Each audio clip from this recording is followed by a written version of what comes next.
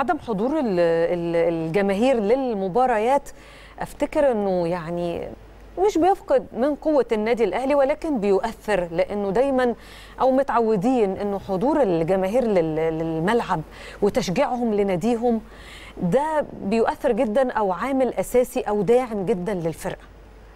بتشوف التأثير ده إزاي؟ عدم حضور الجماهير للمباريات. طبعا زي ما بقول لحضرتك هو جزء الكبير من منظومة النادي الأهلي اللي هي نظرتنا ليها هو الجمهور. يعني.